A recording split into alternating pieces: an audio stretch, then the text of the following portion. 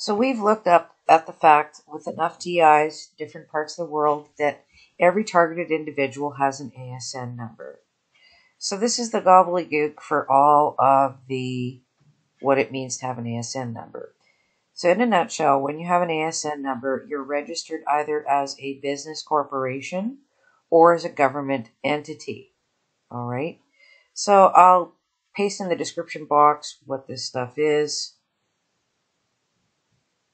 What is a peer?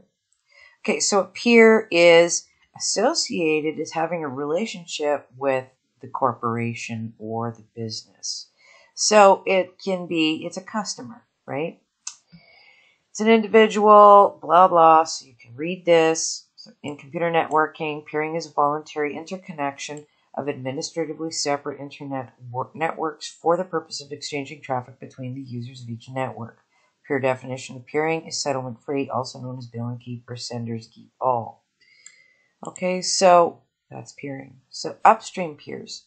A transit peer is someone who you go through in order to reach the internet. You transit their network to reach other networks. Many folks use the term upstream provider when talking about someone they buy their internet from. Okay, so now that we know that, let's try to get our ASN number. So we're going to go to, oops, we're going to go to here. So we're going to go to this ipinfo.io and, you know, when you land on the page, you go down in the right hand corner and you look for your ASN number, which is right here. So now you've got your ASN number. What do you do with it? So we're going to sweep over it, right click, we're going to copy it, we're going to go and populate it into here. I'm in Canada, so you can find all kinds of information on the fact that you are a parent corporate entity. Oh, yes. This is highly illegal, but, you know, we'll go further into this. So, I have all of these organizations as my business. This is my business number. I don't have a business. I don't have a corporation. But, you know, I only have one provider. Or do I? So we're going to click on Bell Canada. We're going to go, what's going on here? What is all this gobbledygook? Well, these are providers in different regions. So you keep peeling back the layers. Once you peel back the layers, you find out that in each one of those other sub layers, I'm on an international network system. It's very specific. It's eight pages. So on this column, it shows you peer, provider, peer, provider. So the providers are directly involved with you, and the peers have a relationship with you. Isn't that neat? And this Incapsula one is a customer. So Incapsula, I isn't this amazing? So we're going to go back, try to keep this simple, knowing now that we are in a global system as a targeted individual. So you're going to look at these and you're going to peel each layer back. These are all the people involved with your stalking. Okay, so this hospital implanted me. They're directly involved. Nice to know that they're one of my customers in this fraudulent scheme. So here's Merlin. Who's Merlin? What's Merlin? Wow. Three ASNs. Who's Merlin? Let's check out who Merlin is. Since, you know, he's one of my customers. So Merlin is a patient care network. Okay. So here's my patient care network. Um, they've inserted something into my heart.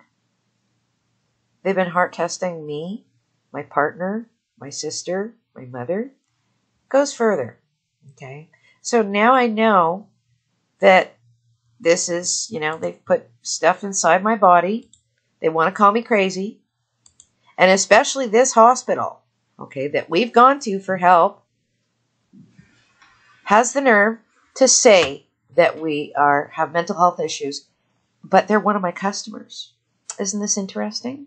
And I'm registered as a you know, business corporation. Isn't this sickening? So this goes on. Look at this Manitoba eHealth. I didn't know Manitoba eHealth was um, one of my customers. Isn't this interesting? Look at that remote access digital health health providers. Okay, so they um they're utilizing me in remote health access on shared networks. Shared networks on my medical information because I've been in a non-consenting study for a very long time, so is my family.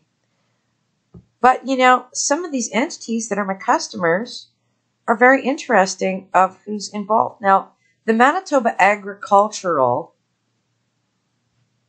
Services Corporation Canada is actually a Cisco hacking group. Okay, that was retained by the government of Canada. They pay for them to hack out all Canadians. Yeah, I'm not supposed to know that. I came across that accidentally. So let's take a look at this, you know, one of my customers. Isn't this interesting? So, since they're going to kill me, I'm going to show everybody in the world how I have a wonderful relationship with all of my customers as a corporate, as myself, as a corporate entity, as they human traffic me globally for medical experimentation with non consenting RFID in my brain and throughout my body, and my mother's and my sister's. My mother has sustained brain damage. Okay. This has been going on to us for since I've been 16. I am 48 years old. Now, how does the Canadian Museum for Human Rights relate to me as a customer? Let's explore this. How does this happen? How does the Canadian Museum for Human Rights engage in as a customer for me? Bell, VoyoNet Inc., Mr. Net. Who's that? Who's that? Who's Mr. Net? Who's Mr. Net? Now, you got to question an entity that participates in non consenting RFID. Clearly, they, I believe they are fully aware of this situation of non consenting RFID inside my brain, legs, body. And that's the Canadian Museum for Human Human Rights. How much sense does that make? Okay, so you know, we've looked at that one, we've looked at that one, we've looked at them. These are these are all also interconnected to insurance companies when you start peeling back further layers. So, who's Reimer World Corporation? I don't know. We're going to have to find out. We're going to have to find out who Reimer World Corporation is. Reimer World Corporation. Let's peel back some layers. Who is who is this? Who's this Reimer World Corporation? Okay. Who is this? Who's this person? Let's look up who the Reimer World Corp is. Since, you know, apparently they're one of my customers. This is life insurance fraud, I believe. Um, human trafficking. This is modern day human trafficking. Isn't this interesting? Every targeted individual in Canada will find this hierarchy. The primary player players, you know, will change, you know, in this schematic here. But you are in a global network, so when you peel back your, you know, systems here, shows you you're on this global global network, which every targeted individual in the world is on this global network. So who's Reimer? What is this? Okay, menu Dun and Bradstreet, Reimer World Corp, so Winnipeg. Ooh. KRRGlobalCorporation.com. What are they? Business sector, industry, 40 employees. I don't know what this is at all. I have not a clue. I'm thinking, you know, this needs more investigation. You know, who is this? Don't know. We'll see. But they're, you know, they have income of ten and a half million a year. You know, maybe they're, you know, an interconnected uh, medical entity, or you know, maybe just, you know, an insurance company. I don't know.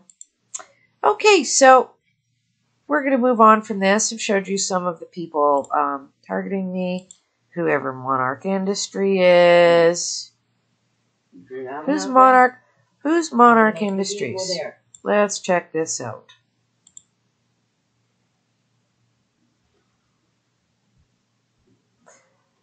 Custom castings and machining division. Okay, what what am I experimenting? Being experimented with them, or you know, are they just one of the companies that took insurance out of me? I don't know. This needs uh, an international investigation. I today is the fourth of July. Uh, the United States is celebrating their birth, and I'm celebrating absolutely not a hell of a lot. I am pretty disappointed uh, that these are all my customers and that I am a registered business. Clearly, the internet service provider would have had to apply for the registered business number for me because I'm not a business. KTIs, we're going to move on. So you, this is another uh, mass database. Um, you can look for your ASN number in here. Mine's not in here. I guess I'm slated to be to be dead. So another thing you can search is your in the global hurricane, you know, the hurricane electric internet services.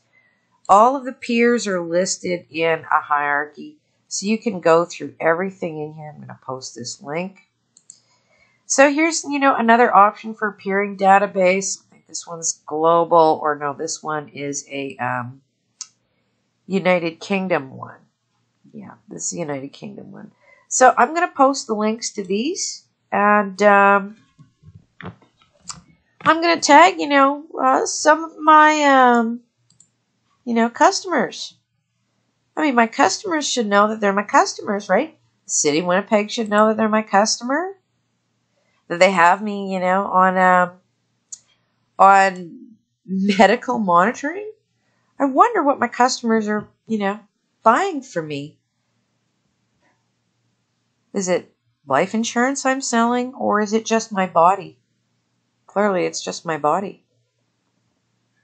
You know? This has been going on for a couple of decades, and now it's gone violent. So, this is not all your local players, your tiny players, the ones that deploy the weapons at you. That's a whole different aspect that we'll cover off in another video on another day. So you need to make this global, targeted individuals, because this is criminal activity. And a lot of people are participating in it right across the world. In cybernetic, big pharma, whatever, scientific studies, blah, blah. And it's pretty horrifying. At least now I know why this hospital, you know, wants to call my wants to call all of us crazy and not provide us with service in removing RFID from our body. Yeah. Is this disappointing? Okay, that's the uh, that's the end of this clip. I can try to get out of here.